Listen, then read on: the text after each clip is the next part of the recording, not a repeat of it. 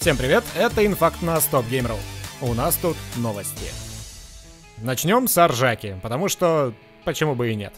Французский Остап Бендер по паспорту Адель решил урвать себе навехонькую PlayStation 4 за гроши и таки урвал.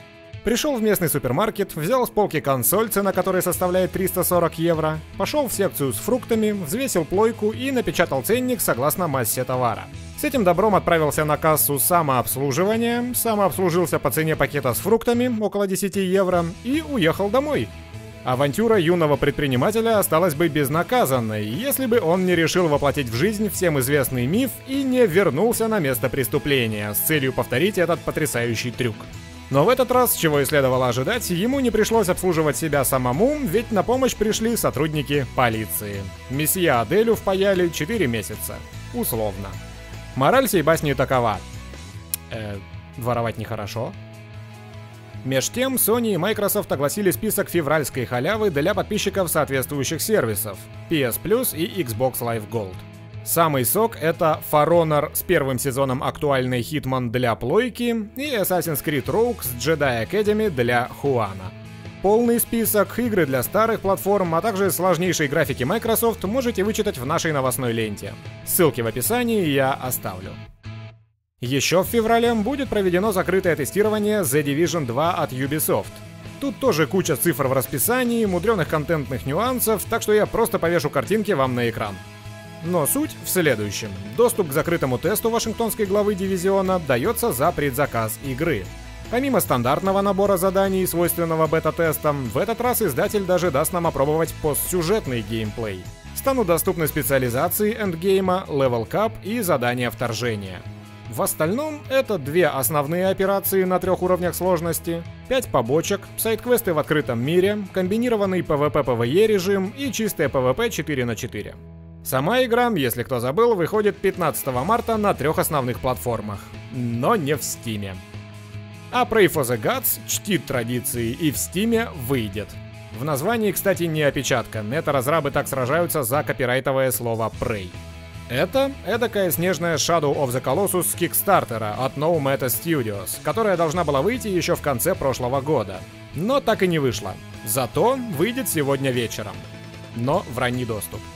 Зато разрабы заявляют, что и в Early Access будет весь контент, обещанный вкладчикам с Кикстартера.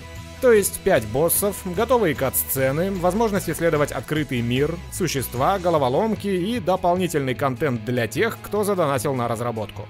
В будущем авторы проекта хотят ввести еще кучу всего вкусного, но итоговое количество вкусного будет зависеть от финансовых успехов раннего доступа.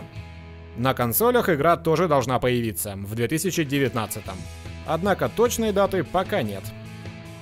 Судьба Алисы Американа МакГи покрыта еще более густым туманом войны. В июле позапрошлого года этот геймдизайнер сказал фанатам, что не прочь взяться за создание третьей части, но права на франшизу принадлежат Electronic Arts, так что и трясти продолжение нужно с нее. А на днях выяснилось из блога самого МакГи, что он в данный момент усердно работает над дизайном, художественным наполнением и сюжетом Элис Asylum, приквела оригинальной Элис. В этой истории Алиса будет бороться со своей травмой после потери семьи. Фанаты наверняка рады, тем более что вторая часть серии вышла аж в далеком 2011 году. Всех заинтересованных и сопереживающих геймдизайнер призывает подписаться на всякие рассылки, соцсети и патреоны. Линки, как вы догадались, в описании. А THQ Nordic призывает всех расходиться, тут не на что смотреть. По крайней мере, такая гифка с бессмертным Лесли Нильсоном в данный момент красуется на сайте издательства. На том самом месте, где перед этим был опубликован трейлер Darksiders War Mastered Edition для Nintendo Switch. То ли по ошибке опубликован был, то ли это выверенный маркетинговый ход, сейчас там его уже нет. Но в сеть он в любом случае попасть успел, а обратной дороги из сети нет. War Mastered Edition — это переиздание первой Darksiders, вышедшая в 2016 году для ПК, Хуана и Плойки, а в 2017 для Wii U. Похоже что очередь дошла и до Свича. Но все это не точно, а соответственно и конкретных дат у меня для вас не припасено. Еще более неточна информация следующего раздела инфакта. Заявлена она аналитиком Дэниелом Ахмадом, ссылающимся на собственные источники, а касается следующего поколения PlayStation. По его словам, внутренние студии Sony уже сосредоточились на PS5. Также он предполагает, что свежие подробности могут быть оглашены на мартовском мероприятии Game Developers Conference. Третьим пунктом идут слова о том, что и четвертую PlayStation хоронить пока что рановато. Для нее в данный момент создается пара неанонсированных игр по уже существующей интеллектуальной собственности. Не исключено, однако, что они рассчитаны и на текущее поколение, и на следующее. Ну и наконец, Ахмат обмолвился о том, что некоторые разработчики уже получили дев-киты для PlayStation 5. И вроде как даже хвалят то, с чем им приходится работать. Но насколько все это далеко или недалеко от истины, мы с вами вряд ли узнаем в ближайшем будущем. Появление нового поколения консолей неизбежно, но официальных анонсов, содержащих конкретную информацию о продукте, мы пока от производителей не слышали. Зато на сайте Stop Game Row вы уже сейчас можете прочитать пару весьма информативных статей.